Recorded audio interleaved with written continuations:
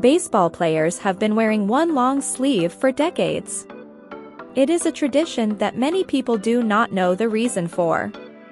There are many speculations as to why baseball players wear one long sleeve, but the most popular reason is to keep their arms warm. Hello everyone!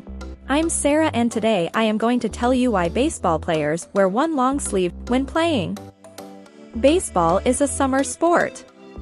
Most people think that because it is a summer sport, the players should not be wearing long sleeves.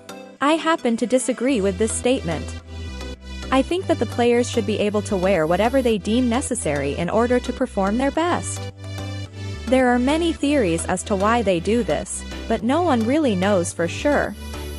Some say that it is to keep their arm warm, while others believe that it is to protect them from getting hit by the ball.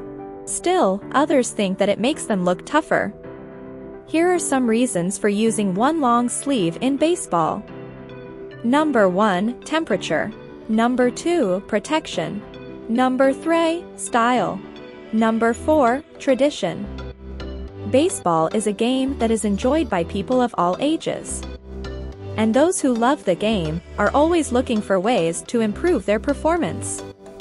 If you need more detailed answer to why baseball players wear one long sleeve, please read the article from the description.